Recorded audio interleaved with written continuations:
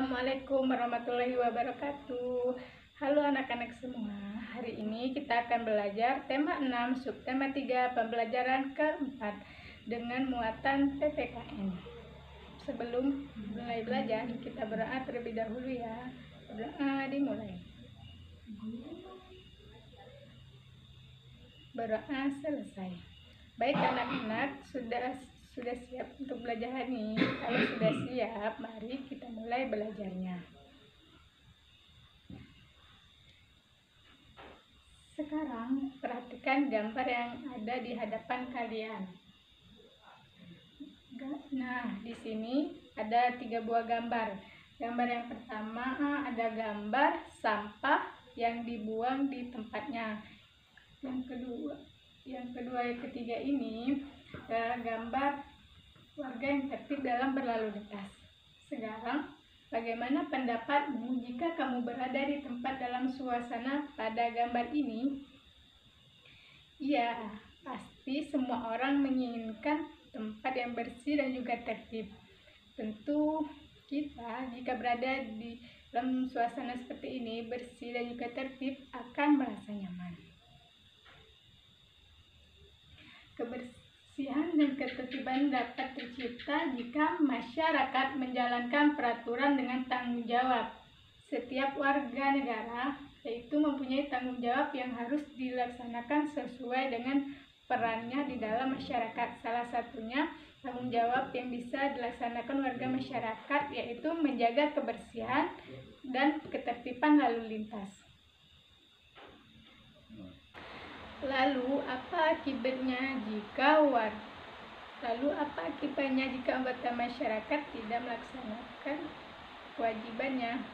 Ya, jika warga masyarakat tidak memiliki hak dalam menjalankan hak dan kewajibannya, maka akan menimbulkan berbagai masalah-masalah sosial.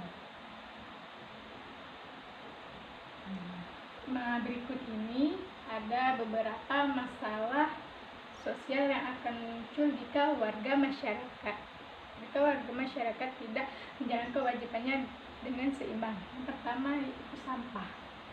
Sampah yang berselerakan di lingkungan ini disebabkan oleh orang-orang yang tidak bertanggung jawab dalam membuang sampah.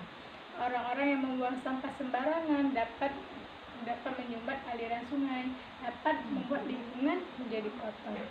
Jika lingkungan menjadi kotor, nah, jika sampah di sungai itu banyak, maka yang akan rugi masyarakat itu sendiri. Kemudian, kali atau sungai yang kotor.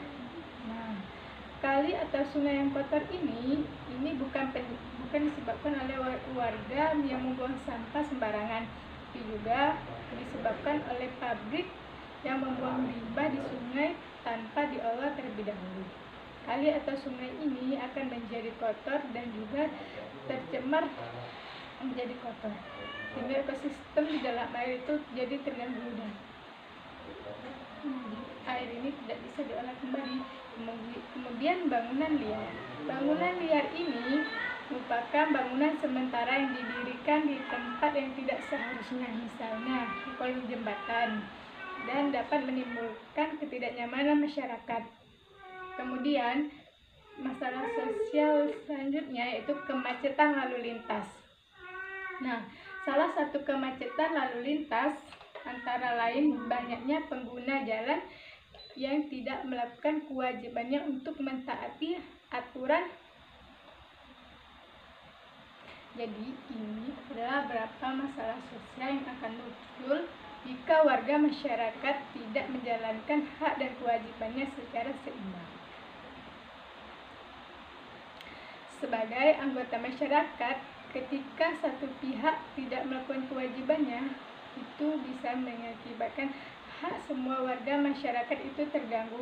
Hal tersebut itu tentunya hal tersebut tentunya akan memunculkan berbagai masalah sosial.